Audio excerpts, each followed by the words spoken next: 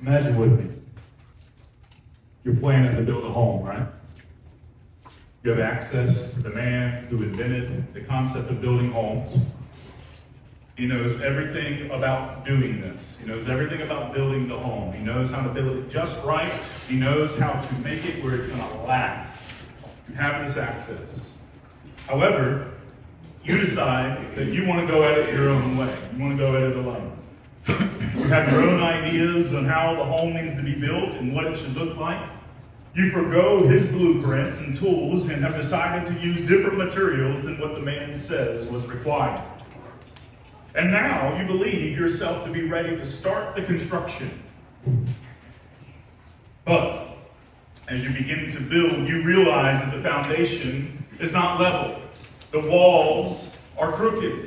You try to fix the problem, but it just keeps getting worse. No matter how hard you try to correct course, nothing seems to work. Eventually, the home collapses and all your hard work is ruined. In the story, there is a desired outcome. There are instructions, there are materials, and there is even assistance available to guide the person to the desired outcome. It will require hard work. It will require going through challenges, but the man will help the person get to the desired outcome if they utilize the help that is available. But the person refuses the help and ends up feeling empty and hopeless in the end. This is what happens so often when you and I, when people attempt to build their Christian homes. They gather the equipment to build and begin the work, only to realize that there is a certain way that God reveals through the Word of God that we know the Bible to build the Christian home, and doing it other ways causes much pain, and it leads to the opposite of the desired outcome. And we feel empty, we feel broken, and we feel helpless. Some might even say hopeless. Allison and I went through this early in our marriage.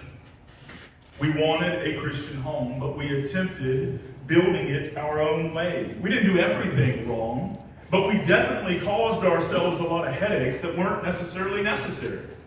It wasn't until years later that we submitted to the fact that the Bible has clear instructions on what our desired outcome should be and how to get to the desired outcome, and that we have the assistance of God Almighty who is cheering us on as we go towards that outcome. Today is our second Sunday in our sermon series, Beautiful Mess, where we're going to discuss anything and everything family.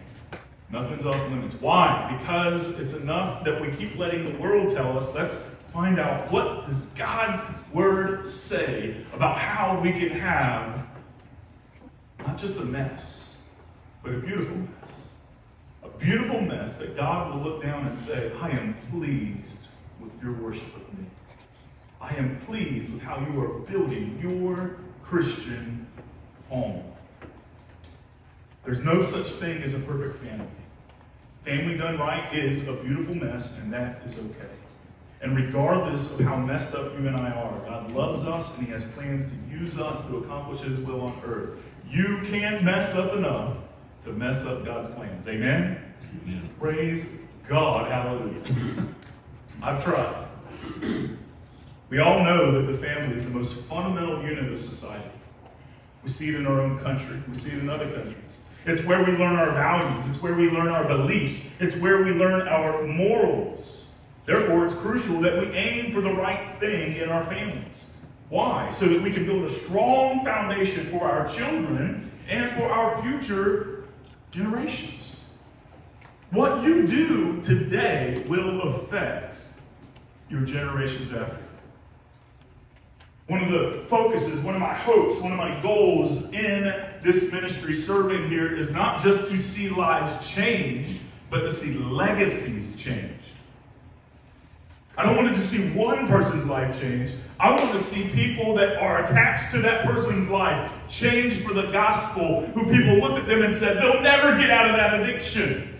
They'll, they'll never get out of that lifestyle. They'll never get off the streets. They'll never learn how to spend appropriately. They'll never. I want to see those stories. Why? Because those stories attract other broken people who are looking for hope. And it starts with the family. It starts with the home. Some of you are saying, you know, I'm widowed, or I, don't have children, or I don't have that. You still have a home, and God wants it to be a Christian home. Amen? So, what we've got to do is we need to pre decide what we want to build and why we want to build it. And then make sure that the decisions we make line up with our desired outcome. If we don't do that, we'll find ourselves in some, some trouble. I don't know if you have, but I know I have. So, this brings us to the big idea of today's sermon. In order to build a Christian home, you must be clear on what the Bible says that a Christian home is and is not.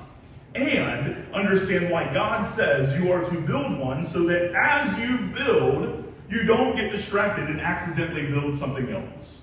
Any of you ever gotten one of those things in the mail, you know, something like IKEA? When I order some things from Amazon, I always want to check the reviews on how hard was it to make, right? I'm glad that it lasts, how hard was it to put together? And so when the stuff comes and the directions gives you pictures with no words and you're looking at this and you're hoping to build a bookshelf and instead somehow you built a back a, a bed frame, you know? Like, it's like how in the world am I to put this, this, this, this, this together and come up with the picture that is on this box?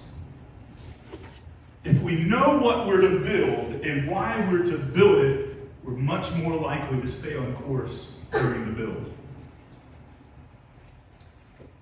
I want to remind you, though, that the devil, the world, and your flesh, and what it wants are real things. They're real temptations. They love to work together. They love to do everything possible to tempt you to get off course and end up somewhere you never wanted to be with a product you never desired to make.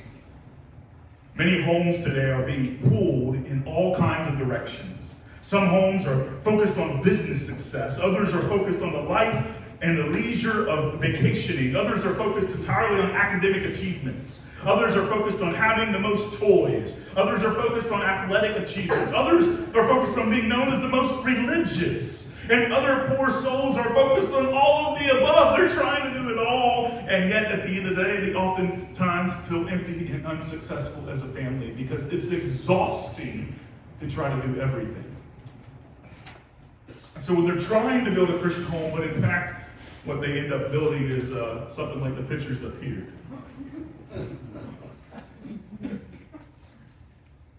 I have no idea what that is. It's like a, like someone tried to make a s'more out of that. Interesting architecture it is. What about our other one? Yeah. Some of you are like, oh, that's kind of cool. Like to me, I'm like, if, if, a, if we had a hurricane, if we had just a 40 mile, like, I'm worried about that house. And so often that's what happens is we're all going in different directions. Our house is pointing in this way when in fact it's supposed to look like a home and just it's it's just being pulled everywhere. And what happens is if a storm comes and hits that house, what's gonna happen? It's not gonna make it. We know that to be true. We've seen what storms can do. Oftentimes, when a family is building a Christian home, each member of it has their own thoughts of what that looks like and how to arrive at that destination. And this ends up having the home being pulled in all those directions that we're talking about. The truth is that all the things I mentioned are bad in and of themselves, but many times these things become the distractions that keep us from experiencing the joy and the fullness of what a Christian home is to be like. We end up putting these things before God Himself, and when we do that, it hurts, doesn't it? But let me also be clear, because I recognize the majority of you are like me, you're not building a Christian home, you're remodeling a Christian home, right? You, you've been at work and now you're like, oh, we need to make some adjustments. And so that's okay because here's the thing no matter how bad you think your home is, God can restore it. And not God can just restore it, God can breathe new life into your Christian home. One of the best things that Allison and I ever did was we brought in what we call family worship. And so every night we pray. Most nights we read the Word of God. This year we've been reading through the New Testament. And so we're, we, are in John, I want to say 9. Is that right, Joshua? John, John 9? Yeah, I think we might have read that yesterday. So maybe John 10. And so we're reading through the New Testament together. We talk, we answer questions, and we pray together. I do it in the morning before school, and then we do it together as a family at night before bed. And, and I'm not saying that to brag. I'm saying that God's word is powerful. It brings conversations that otherwise we wouldn't have, and it changes our family, and it changes our life. It changes the direction. Not only does it change it, it puts all of us on the same page. But we weren't always like that. And we don't always get it right. It's a beautiful. But it's a mess headed in the same direction. Amen? The first question that you need to ask and answer is this What kind of home do you want your home to become? What kind of home do you want your home to become? Before someone builds a home, they make out a what? Blueprint. Blueprint. There we go. Oh, you were raising your hand. I didn't even see your hand. I'm sorry, man. A blueprint. You got to have the blueprint. What, what, what, would, what would God's design for the blueprint be for a Christian home? Here's what I believe from my reading of Scripture is that you should want your home to be a home that is known for, and if you have your notes, your listening guide, that is known for loving God above all else and loving others as Jesus has loved you. We don't need to make it too complicated because if we make it too complicated, we lose direction of what in the world we were trying to build to begin with, right? This is the picture on the box that we want our home to be known as a home that is loving God above all else and loving others as Jesus has loved you and I. If our home focuses on those two things, we will experience the fullness of what it means to be a Christian home. Look with me at one of the most popular and memorized passages of Scripture in the Old Testament. This is, by hands down, the most important passage to the Jewish people. Deuteronomy chapter 6, verses 4 through 9. Listen, Israel, the Lord our God, the Lord is one. Love the Lord your God with all your heart, with all your soul, I want y'all participate with all your strength. These words that I am giving you today are to be in your heart. Repeat them to your children. Talk about them when you sit in your house and when you walk along the road, when you lie down and when you get up. So sitting, walking, lying, getting up. All four of those things covers all areas of life. That's why that's there. And so what it's saying is, is talk about these things always. When you're sitting, when you're lying, when you're getting up, when you just always talk about these things. That's what God's telling his people. But then he goes on and says, bind them as a sign on your hand and let them be a symbol on your forehead. Write them on the doorpost of your house and on your city gates. Saturate your home with loving God and His Word. Not knowing God and His Word, loving. There are a lot of people who know a lot about God. They know a lot about the Bible. They can quote me the Bible, but I cannot see the Bible in their lives. They're so quick to point out everybody else's problems, and yet they ignore all of their own. I've been there. It's not very pretty. It's not a beautiful mess. It's just a mess. And so what we need to remember is, is that God said, love the Lord your God with all your heart, with all your soul, with all your strength. And he knew that it was difficult to hold on to this, and so he said, don't let this out of your sight. But it wasn't just that God of the Old Testament said this. The God of the New Testament, which is still the same God, Jesus Christ said this as well. Mark 12, 28 through 34 is on your screen. Says, One of the scribes approached when he heard them debating and saw that Jesus answered them well. He asked him, Which command is the most important of all? And so, anytime you see a Pharisee, a religious leader, or a scribe coming to Jesus, their intention is not good when it comes to asking a question. Except for Nicodemus. In John 3, that's good. But normally, most of the time, when they come to him, they ask a question because they're desiring to trip him up. They're desiring to get him to say something so they can arrest him, so that they can get him and shut him up. That's their whole goal, right? And so they come up with this question Which is the most important? I love Lee. Jesus is awesome. Can we just agree about that? He answered, The most important is listen, Israel, the Lord our God. The Lord is one. Love the Lord your God with all your heart, with all your soul, and with all your mind, and with all your strength. Did, did we just read this in Deuteronomy? Mm-hmm. That's the most important. But then he says the second is love your neighbor as yourself. And then he goes on and says, There is no other command greater than these. If we focus our home on loving God and loving others, we won't be so focused on what we don't have. We won't be so focused on putting our hope in our government or putting our hope in politicians or putting our hope in, in, actors and actresses and musicians and all these people who say that they have the answers. They don't have the answers. They didn't create the world. I want to know the one who has the answers who created everything. I want to know the one who sent his son to die for me to pay, to pay the price of my sin. Love God with everything and love others as yourself, but not just as yourself. Look, look, what he goes on. And the scribe said to him, You're right, teacher. You have correctly said that he is one, and there is no one else except him. And to love him with all your heart, with all your understanding, and with all your strength, and to love your neighbor as yourself is far more important than all the burnt offerings and sacrifices. Before you say we're going to read the Bible, before you say we're going to pray, before you do all of these things, stop it and do it with the right heart. Before you go to church, before you say, I want to serve as a deacon, I want to serve in the music ministry, I want to, before you do those things, stop it and make sure you're doing it for the glory of God.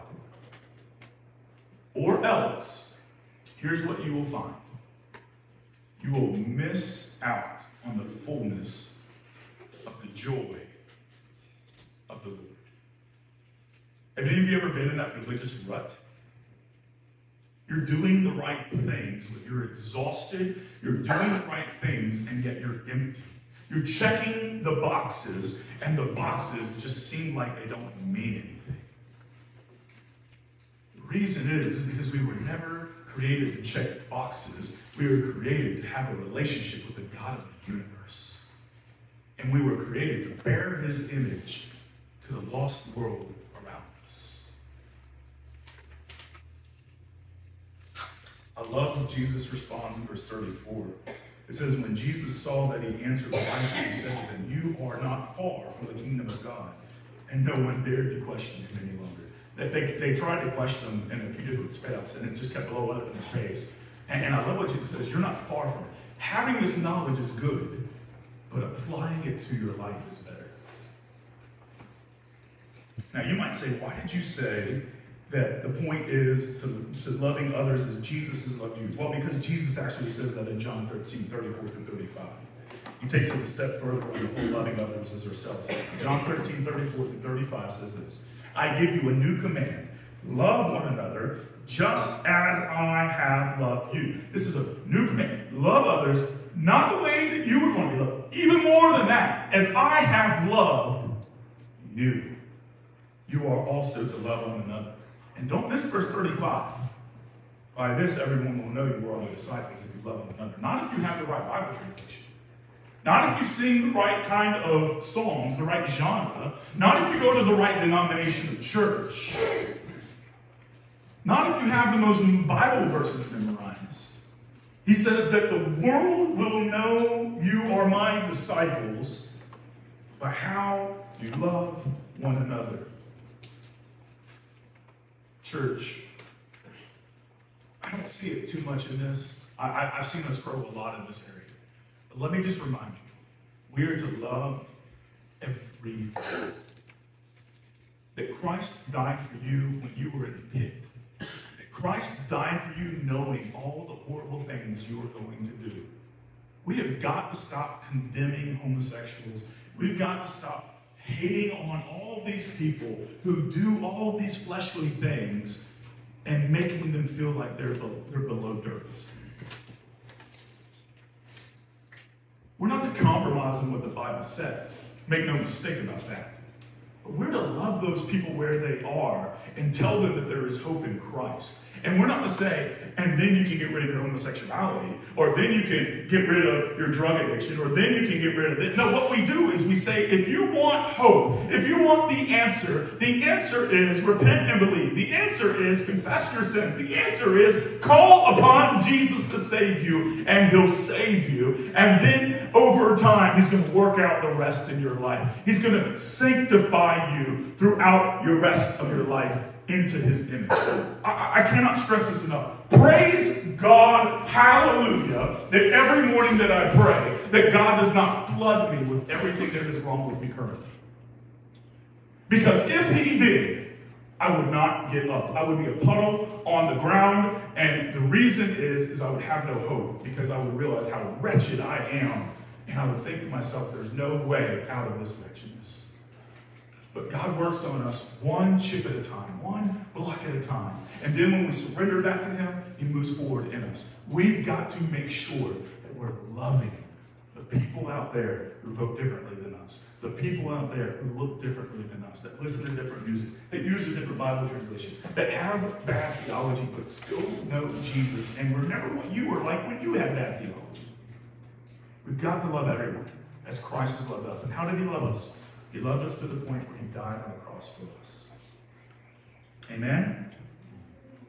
So recognizing that God is as powerful as he is should help put into perspective that no matter how big or small our mess is, it's not big enough to mess up God's plans. He is too powerful for that.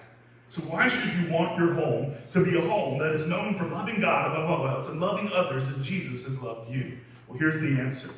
Number two, you will experience I put experiencing because I messed up. It happens. See, I'm human. It's okay. You will experience the fullness of God's Holy Spirit and the blessings that come from that fullness. Fullness, blessings, fullness, if you're filling it out. You will experience the fullness of God's Holy Spirit and the blessings that come from that fullness. So let's take a look at what God says to his people before telling them that they should focus their lives and their homes on loving him. Deuteronomy 6 1 through 3 happens. A lot of times, the reason we get ourselves in messes is because we take a Bible verse or a chunk of Bible and we say, look, this is what the Bible says, and we forget what it says before it or after it or what it says in its totality. And so here's what it says This is the command, the statutes, and the ordinances the Lord your God has commanded me to teach you this is Moses speaking, so that you may follow them in the land you are about to enter and possess. Remember, this is an enslaved people who have been enslaved in idolatry for over 430 years. They're coming out of the promise, or they're coming out of Egypt, and they're about to enter into the promised land. And God, speaking through Moses, is giving them the instructions so that they can know how to live life and build a nation, to build a home. And it says, do this so that, say so that you may fear the Lord your God all the days of your life. By keeping all of his statutes and commands I am giving you, your son, your grandson, and so that you may have a long life. Listen, Israel, and be careful to follow them so that you may prosper and multiply greatly, because the Lord, the God of your ancestors, has promised you land flowing can I remind you that this is not your home?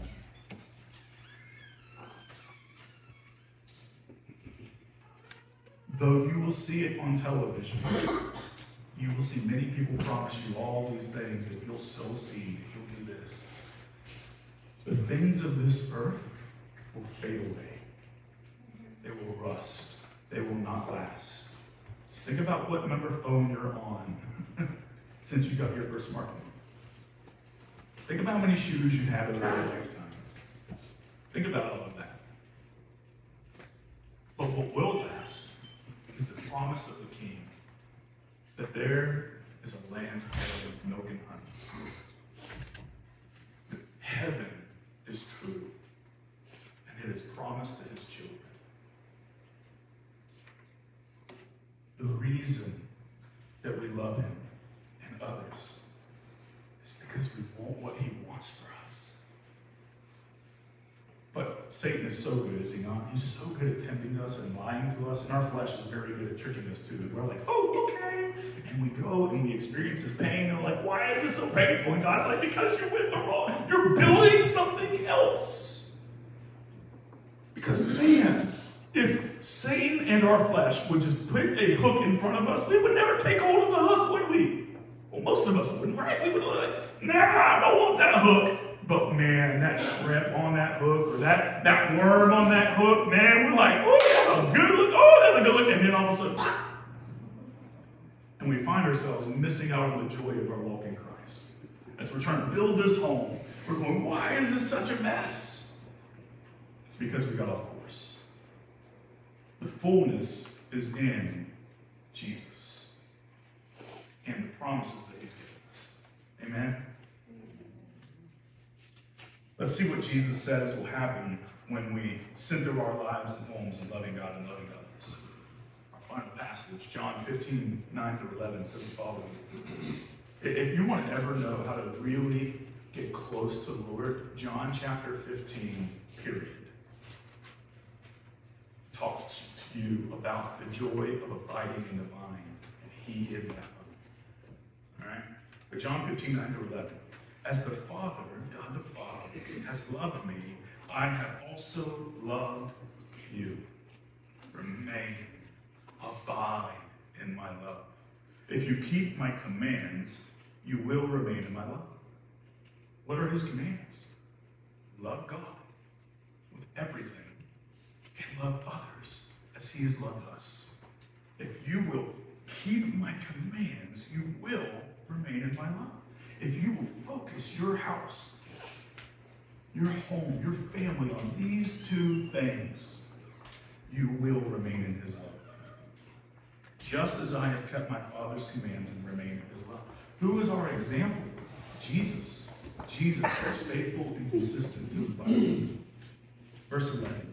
I have told you these things so that, there's that so that, say so that, my joy may be in you and your joy may be complete.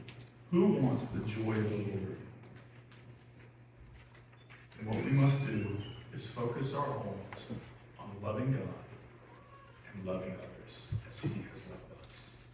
Amen? Now, before doing any of that, we must all be settled on what and the why.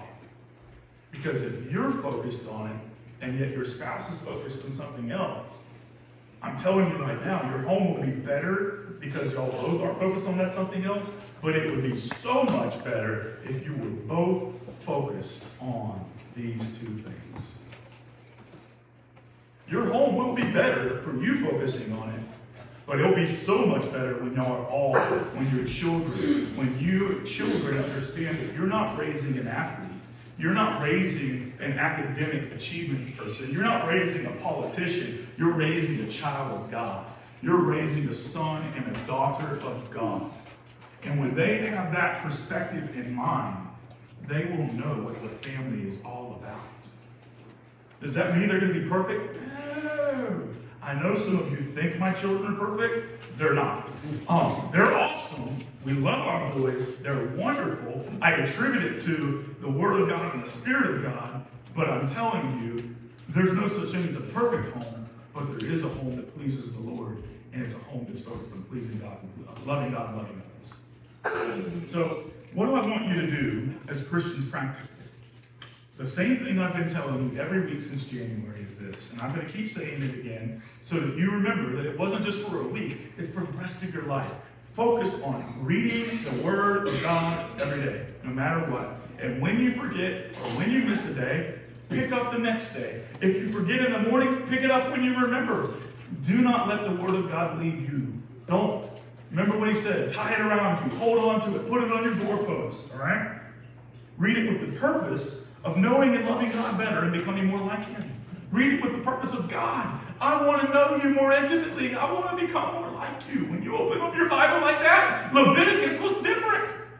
When you open up your Bible like that, Job looks different. You're like, I get so lost in Leviticus and in Job. I'm, just, I'm telling you, man, when you realize the joy that is in the Word of God, it's amazing. Read your Word privately. Read it as a couple. Read it with your children. Pray with your married couple. Pray privately. Pray with your children. And then, secondly, and here's where you've got to get to the point before you can start the build. You and your family must determine this week, whether or not you really want to build a Christian home and if you're willing to build as God says to build. You've got to get on the same page. Because if you watch football, they're all trying to score on offense. And on defense, they're trying to not let the other team score. What would happen if the offense was confused? Some thought you were supposed to score, some thought you weren't supposed to score. What would happen? What would happen if the defense thought, some, you know, oh, we got to stop them. the others, ah, let it go, right? It would be a mess. Make sure you're on the same page. Make sure that you're building the way that the Lord intends for you. Next week, I'm going to be out of town. Brother Jimmy Potts is going to be sharing his testimony. Um, he's going to be sharing who he was before Christ, and how he came to know, and how he came to grow in Christ, and what his life is like today because of Christ. And so I invite everyone to come. Um, we're going to be videoing it, so I will get to catch it. I'm looking forward to it. And uh, I'm really excited to see what God has in store for you all. I love you all. So, how do we respond to this word today? It's actually very simple. We respond with a simple statement. Yes, Lord. Try now. Try again. Does it not feel good that when you don't know what to do, all you have to do is stop and say, Yes, Lord?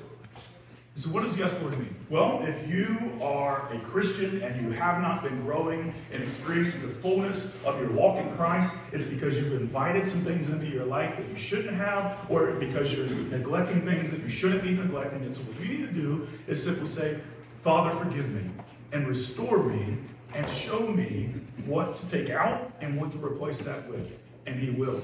All right?